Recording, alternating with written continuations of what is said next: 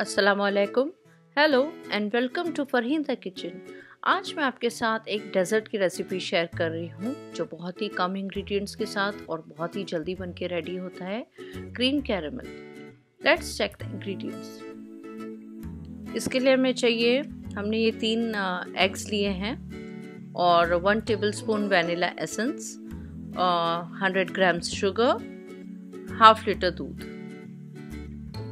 Milk को पहले full boil कर लेंगे। और शुगर को भी मैंने कैरमल करने रख दिया है।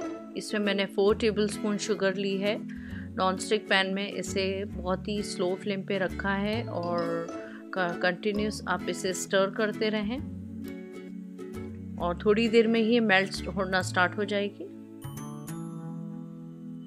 फ्लेम आपको स्लो ही रखना है। ये बिल्कुल भी डार्क नहीं होना चाहिए। नहीं तो फिर वो बहुत ही कड़वा हो जाता है टेस्ट में, जो बहुत ही टेस्टलेस होता है। देखिए, इधर हमारी शुगर मेल्ट हो चुकी है। अब आप इसे ऐसे रोल करते रहें पैन को। अब बस हमारा कैरमल रेडी है। अब एक वेसल में मैं इसे डाल दूँगी। और इसे सेट पूरे में अच्छे से स्प्रेड कर दूँगी ताकि ये फिर अच्छे से सेट हो जाए। वेसल को ऐसे टर्न करें ताकि पूरे में अच्छी से कोटिंग लग जाए। अब ये एग्स को मैं अच्छे से बीट कर लूँगी। इसे अच्छे से विस्क कर लें।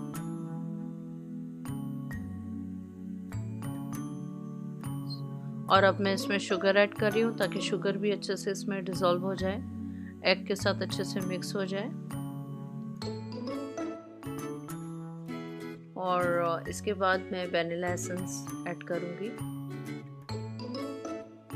एकदम बहुत ही एक्यूरेट मेज़रमेंट है। कि हाफ़ लीटर दूध में आपको थ्री एग्स लेना है 100 ग्राम शुगर और one tablespoon vanilla essence और जैसे जैसे आपकी मिल्क की क्वांटिटी बढ़ती जाएगी, उसी तरह आप एग्स और शुगर वेनिला सब इंक्रीज करेंगे।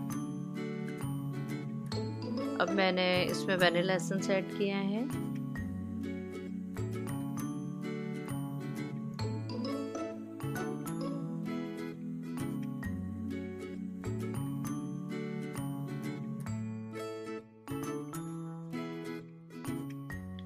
अब मैं मिल्क ऐड करूँगी, जो हमने फुल बॉईल कर लिया है। और ये एकदम हॉट होना चाहिए मिल्क इसे भी अच्छे से बीट कर लें।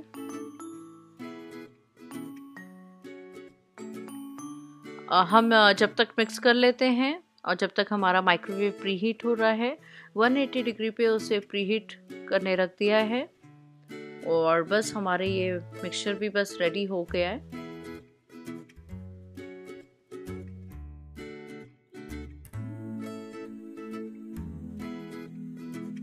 अब उस मिक्सचर को मैं इस वेसल में पोर कर रही हूँ, जिसमें हमने कैरमल किया था। पूरा मिक्सचर हम इसमें डाल देंगे। और नीचे जो टिन है, उसको हमें हाफ़ वाटर में फिल करना है। ये बहुत ही इम्पोर्टेंट है। और अब हम इसे माइक्रोवेव में रखेंगे। हम इस, मैंने माइक्रोवेव कन्वेक्शन मोड पे सेट किया है। हम इसे 200 डिग्री पे बेक करेंगे। फॉर वन आवर हमारे क्रीम कैरमल रेडी है। इसे फुल सिक्सटी मिनट्स लगे रेडी होने के लिए। अब मैं आपको इसे कट करके बताती हूँ। देखिए, मेरी नाइफ भी बिल्कुल क्लियर है, क्योंकि बिल्कुल अच्छे से ये सेट हो चुका है। बहुत ही अच्छा बेक हुआ है।